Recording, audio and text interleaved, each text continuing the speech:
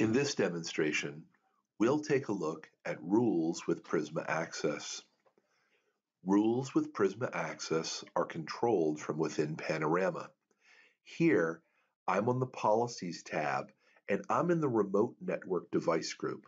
This is a set of rules that would apply to security processing nodes that are in the Remote Network Device group. I right now have a set of four rules. There are also two other rules that would be applied to this security processing node, the default rules as well.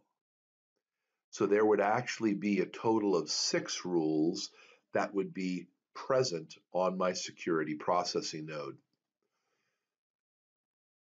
Prisma Access uses first fit rule scanning. The first rule that you come to in my set of six, where all of the criteria across here are met, it would then take the action in the action column to allow or deny this traffic. As soon as I've hit a rule where all of my criteria here are satisfied, it would not process further through the rules and it would apply the action in this column.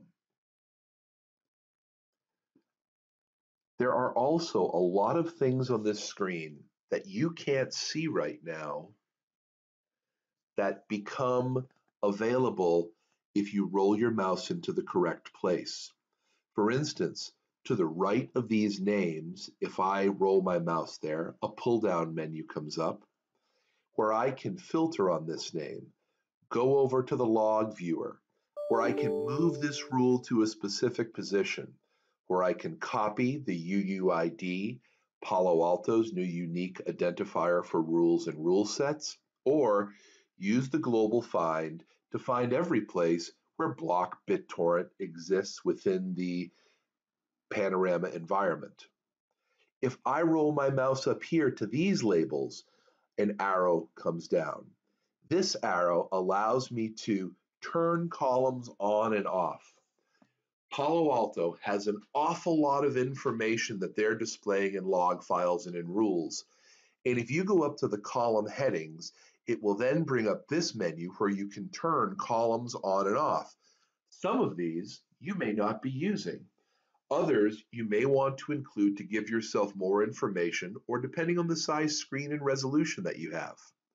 And another possibility here is the option to adjust columns that will auto size the width of all my columns so that I can see that information.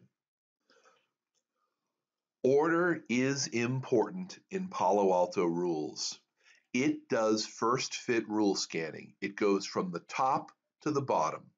As soon as you get to a rule where all of the criteria are met, no further scanning occurs these are all just criteria. This is the action that will be taken to either allow or deny that traffic. I also want to reiterate that there aren't four rules that are going to be put on the remote network device group security processing nodes. There are six. These four, and then at the end of this list, would be Palo Alto's default rules as well the intrazone default rule and the interzone default rule. The intrazone default rule allows traffic within the same zone and does not log it, and the interzone default rule, where traffic from one zone to another is also is going to be denied and would also not be logged.